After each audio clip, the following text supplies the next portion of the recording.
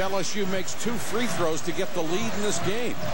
Look at Erica White, the first one to the free throw line. She can't wait. She's ready.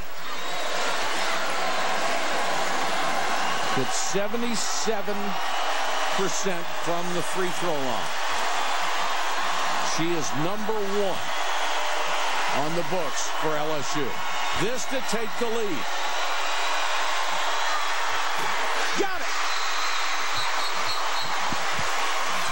And now Van Chancellor will use his last timeout. That is stone cold at the free throw line. Isn't it, though? We talked to Erica White on Friday, Mike, and I'll tell you this. You had the feeling that she would have liked to have tipped it up on Thursday night. That's how anxious she was. And she was the first player at that free throw line. When you get in that circumstance, you have got to want to be the one to take that shot. That's what you dream of as a kid. You go to the free throw line, you're sitting there, you're practicing it, and that's what you dream of. She delivers big time.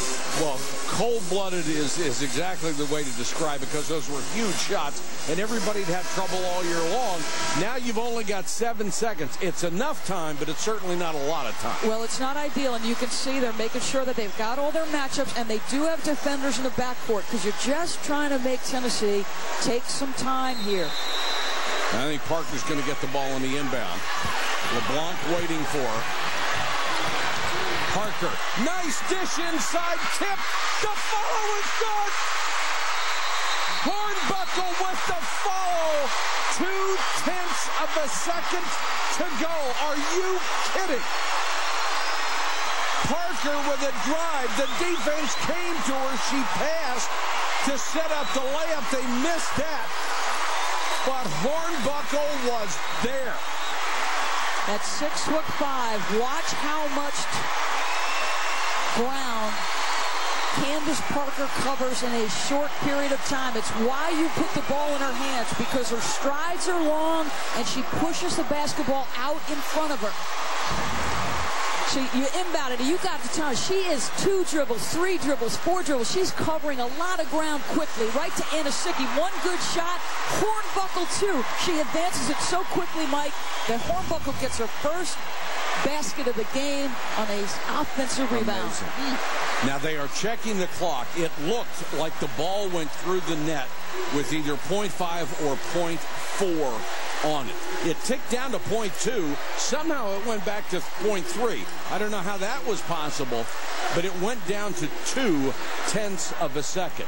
Now they have the chance to look at the replay. The ball goes through the net is the definition of a field goal in college basketball, not through the rim. The great pass, a wide open, good solid contest by Ashley Thomas, but multiple white jerseys in the box, and you're right, there it is. If you let it go one more tenth of a second there, it's down to about six tenths. Maybe six. Now, with seven tenths of a second, Doris, you're really limited after that. Well, you are. And here's what happened. He used his final timeout after the made free throw because he was trying to set his defense. Right. So now you don't have one. On the catch, you couldn't make a catch and call a quick timeout. So now, in a very short period of time, maybe 0.8, 0.7 tenths of a second. You, Looked like seven, maybe, yeah. would be the correct one. So you don't have time to do anything but tip. Catch and shoot. You could you catch it. Can't make a move. Right. Three tenths. Let's see what they give them. They're keeping it at three tenths of a second. No, I don't think they've made a decision yet.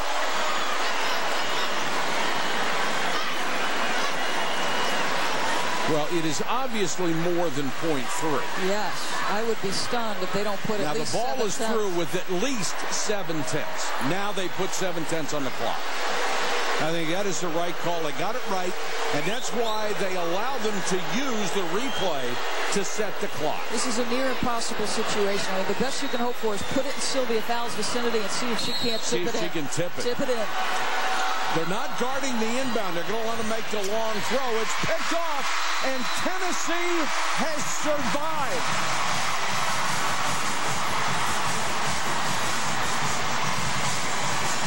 And for the fifth year in a row, LSU's dreams are crushed. They get to the Final Four, and they cannot win. This year, they were held to 46 points. Extraordinary that you could win a game at this level, scoring just 47 points.